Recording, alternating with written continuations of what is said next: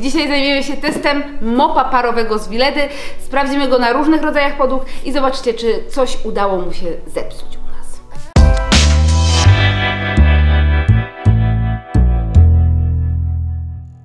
Hejka, hejka, witam Was bardzo serdecznie, jestem Marta i jesteście na kanale Enjoyment. Jakiś czas temu na moim Instagramie pokazywałam Wam mopa parowego. Wywołał on naprawdę falę komentarzy, które dostałam na priv.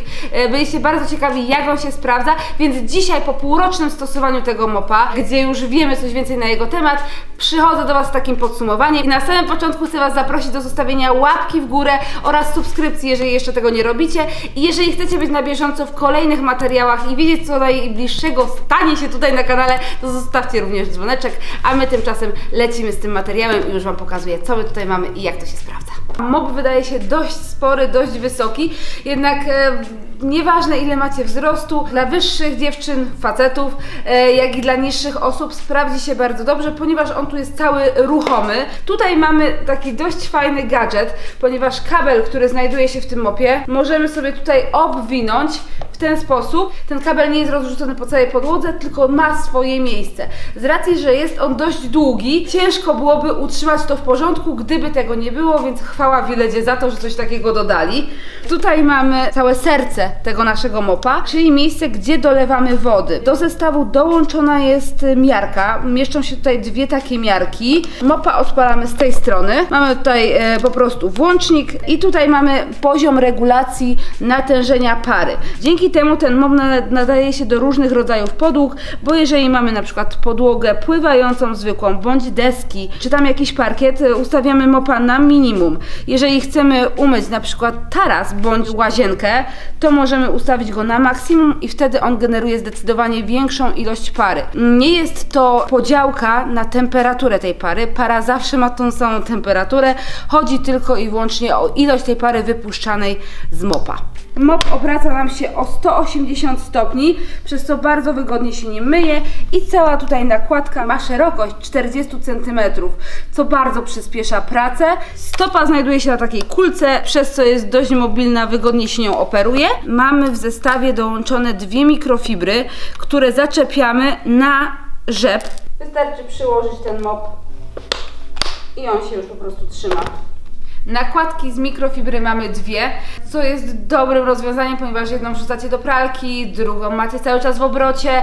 Jeżeli chodzi o tą nakładkę z mikrofibry, ona najpierw musi być mokra, więc moczymy ją, wyciskamy dość mocno, tak żeby cała powierzchnia była wilgotna i wtedy dopiero przyczepiamy ją e, do spodu mopa. Nie zawsze jedna wystarcza do dokładnego umycia wszystkich podłóg. Jeżeli chodzi o zostawianie smug, to mop generalnie nie zostawia. Nie wiem jak to się sprawdza przy wysokim połysku płytek czy podłogi, ponieważ nie mamy takiej. Co ważne, trzeba dbać, aby ten spód tego mopa był czysty. Jeżeli on jest zabrudzony, smugi na 100% Wam zostaną. Więc co jakiś czas trzeba go wyjąć, po prostu przeprać pod bieżącą wodą i włożyć do mopa z powrotem. Mamy również w zestawie taką nakładkę do czyszczenia dywanów i wykładzi. Nie spodziewajcie się, że to jest coś, co na Wam wypucuje dywan tak, że będzie jak nówka funkie nieśmigany. Bardziej chodzi o to, aby z tego dywanu jakby wyplenić nieprzyjemny zapach, odświeżyć go delikatnie, natomiast nie jest to pranie, tak jak oddajecie załóżmy dywan do prania. To jest bardziej kwestia odświeżenia. Mop czyści samą parą. Nie używamy tutaj żadnych detergentów. Do zbiornika na wodę nie dolewamy absolutnie, co jest zaznaczone w instrukcji kilkakrotnie. Żadnych środków czyszczących, nabłyszczających i tak. Absolutnie nie. Tu używamy tylko i wyłącznie samej pary. Producent mówi, że mop usuwa 99,9% bakterii. Nie jestem w stanie tego sprawdzić, natomiast wiem, że po umyciu podłogi tym mopem, tą parą, mamy taki zapach po prostu czystości. Do jakiego rodzaju podłóg ten mop jest przeznaczony? Producent oferuje nam tego mopa do każdego rodzaju podłóg ze względu na możliwość regulacji natężenia pary. My używaliśmy go zarówno na podłogach zwykłych AC5 z fugami, bo to też ma znaczenie, na podłogach winylowych oraz na płytkach. Wiadomo, jeżeli chodzi o podłogi winylowe oraz płytki, absolutnie nie ma tutaj żadnych problemów, bo to jest para, nic się z tym absolutnie nie stanie, nie ma szans. Natomiast y, najwięcej pytań pojawiło się, jak ten mop sprawdza się na zwykłych panelach. Na początku powiem Wam, miałam stresa, czy aby na pewno nic się z nim nie stanie, wszystko będzie dobrze. Natomiast po tym pół roku mogę powiedzieć, że panele nie ucierpiały, mają się bardzo dobrze. Chcę tu też zauważyć, że ja nie używam go codziennie. Używam go raz w tygodniu, gdy chcę gruntownie domyć tą podłogę. Warto też zauważyć, że przy zwykłych panelach używałam go na najniższym poziomie pary. Nie zostawiałam go, załóżmy, na fudze, zawsze starałam się go podnieść, aby nie nasączał podłogi w jednym miejscu tą parą. Co muszę przyznać, to podłoga po czyszczeniu tym mopem jest zdecydowanie bardziej matowa i inaczej się ciapkuje od, wiecie, na przykład gołych stóp, y, łap psich, niż taka, która jest umyta detergentem. Ta umyta detergentem jakby dłużej zachowuje jakby czystość niż ta umyta tylko i wyłącznie parą. Przynajmniej na naszej podłodze, e, którą mamy tutaj. Co jest takim em, plusem, minusem?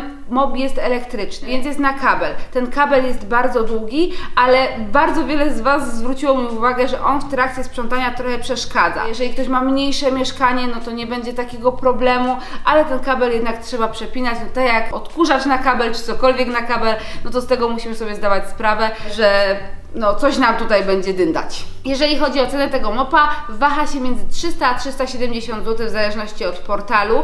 Ten mniejszy, który przypuszczam będzie sprawdzał się w identyczny sposób, bo zasada jest ta sama, tylko wielkość inna, kosztuje gdzieś około 200 zł. Mam nadzieję, że podzieliłam się wszystkimi informacjami, rozwiałam ewentualne wątpliwości. Jeżeli jakieś macie pytania odnośnie tego mopa, piszcie w komentarzach. Jeżeli któraś z Was ma, albo któryś z Was ma ten mop, niech również podzieli się swoją opinią w komentarzu. E, Na pewno ułatwi to innym osobom wybór.